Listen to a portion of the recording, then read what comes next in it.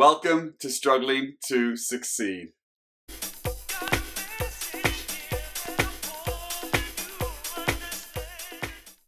This week, we're going to discuss some more thoughts from the school of Stoicism.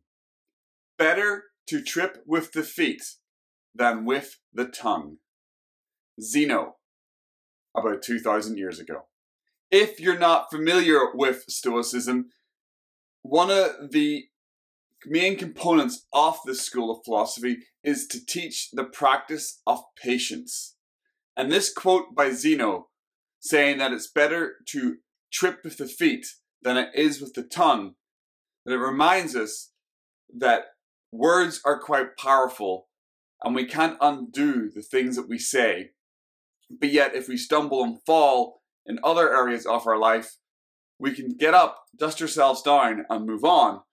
But yet, if we curse, blame other people, say hurtful, uh, uncultured things about the people around us and about the situation, those words can stay with us for a lot longer than a scraped knee or a little bruise because your ego got dented. The next time somebody says something negative to you or you're in a really difficult situation in a project, at work, in a social event, or just out in your normal day, you may want to feel the urge to lose your temper, swear, say nasty things, complain. And this is where the Stoicism teachings comes in. teaches us to remain patient and not to react with our mouths and say things that we might later regret. In today's modern society, it has become culturally acceptable to burn someone when they do something wrong or to shoot back a snarky comment on Twitter or Facebook or leave nasty comments on YouTube and Facebook. However, those words stay with the people that you attack for a long time. So the next time your friend does something silly or posts something online and you want to throw a snarky comment back, remember you have to see that person again face to face at some point. And you might think that that comment was super funny and you might have got a couple of likes and a few shares because you like, really burned your friend or that famous celebrity. But at the end of the day, what are you actually achieving? By A, being snarky, B, losing your temper over a situation, or C, just being a dick. What are you achieving? And this is where this Zeno philosophy and the, and the philosophy of the Stoics really comes into play.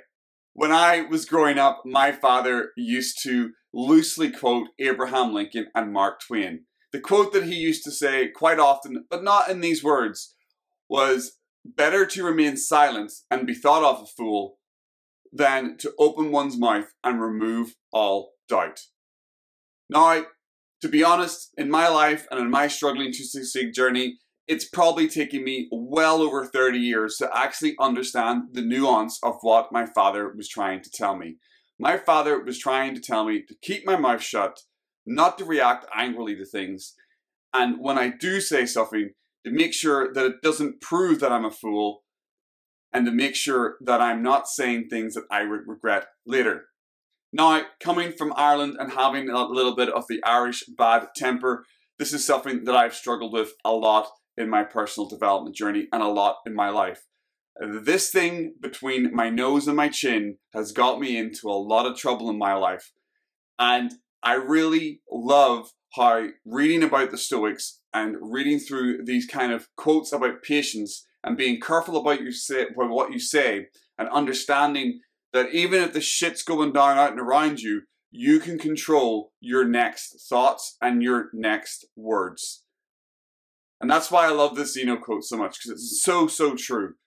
When you get knocked down, you've got two options. React like a spoilt brat, spoilt brat and be a dick.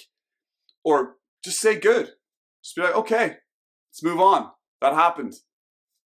Is it going to make it any better if I start swearing and start being negative about the people that might have been involved in it if I start blaming other people. No. Just dust yourself down, wipe the blood off you, treat your bruises from your fall, and just keep going in your life.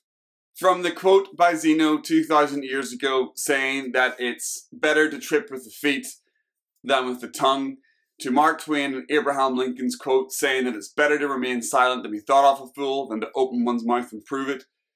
These two quotes really try to teach us the art of patience, the art of not reacting to things, and the art of making sure that when we do speak, that the words that we speak are actually productive and are useful for the conversation that we're currently in. Well, that's it from me this week. I hope you enjoyed the video. If you did, please do me a favor and hit that like button. Also, don't forget to subscribe so you can follow along and get lots more content on my struggling to succeed journey. As my mission here is to deliver you guys bite-sized videos each week that can help you start your journey of success.